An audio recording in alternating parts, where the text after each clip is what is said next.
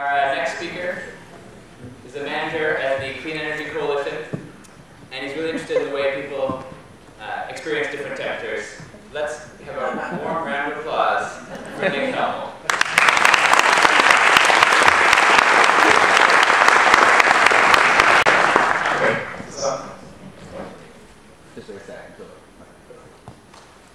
Okay, uh, thanks everybody. My topic tonight is humans and cold. Um, I, uh, every year all the time my wife asks me why we still live in a place that's so cold. And I started thinking, why does anybody live in a place that's so cold? So I really started thinking back in, in my memory and dug up this memory of my uh, scoutmaster, Dave Klein, teaching us about hypothermia for an hour every winter and uh, how our bodies really can't handle a large range of temperatures. Um, we're not built for cold temperatures, so let's just face it. We're, you know, where, where we evolved uh, in Africa, we didn't need to deal with cold temperatures, they just weren't present. So we lose heat through conduction, convection, and radiation, just like any other type of physical mass. Um, our bodies have a few pre-programmed responses to cold. Uh, shivering, you know, when you feel your body actually like trembling and turning kinetic energy into heat. Uh, something called piloerection, which is better known as goosebumps, where your skin actually kind of crinkles up. Uh, and my personal favorite, favorite uh, vasoconstriction. This is where the capillaries in your fingers and your toes start to constrict and reduce blood flow to those parts of your body. As you can see in this thermal image of uh, some feet, uh, the, the toes are actually quite a lot colder than the rest of the, the foot, meaning the body is actually keeping that heat inside of it. So, um, what can we do about this? This, this is this is the only force that can explain our desire to, live with cold. It's got to be love. Love is the only force that's rational and powerful as anything that can do this. So, uh, how do we continue this relationship? We got to start using clothing.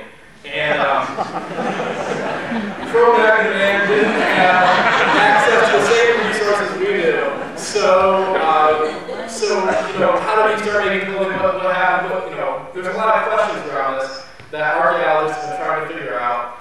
And um, they figured out using lice. There are two types of lice, clothing lice and head lice, and they have a common ancestor that split about 170,000 years ago, and that's when we probably started wearing clothing.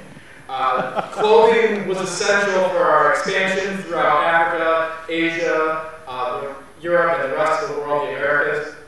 And this is, and that, the, uh, a few other tools such as needles, the ability to kill large animals and have big pelts, uh, allow us to make that expansion and live, you know, virtually in all the land masses on Earth.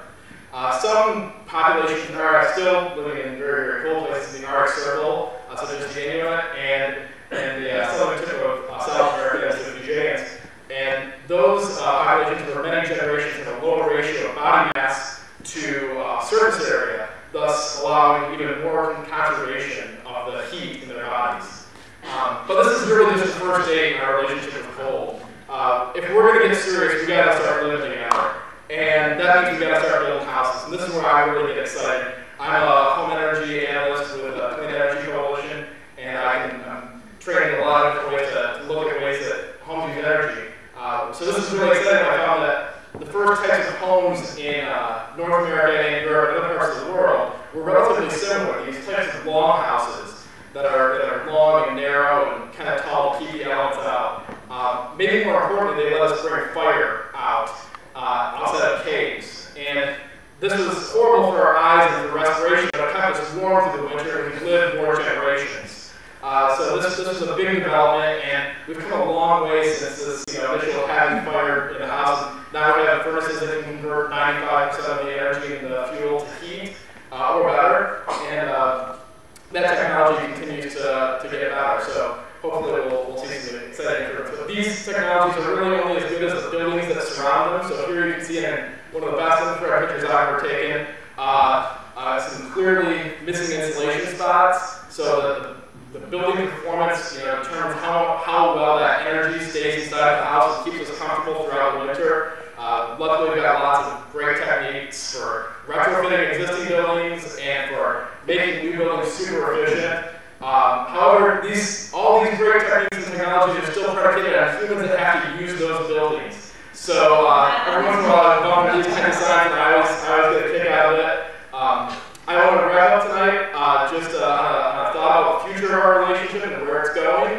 Uh, there's some excellent scientists doing work in the extreme limits of cold and trying to find out where we're going with uh, uh, cold and, and, trying to reach absolute zero. If you're aware of those accent uh, I encourage you to you know, look them up if you're not that's my. Thank you very much.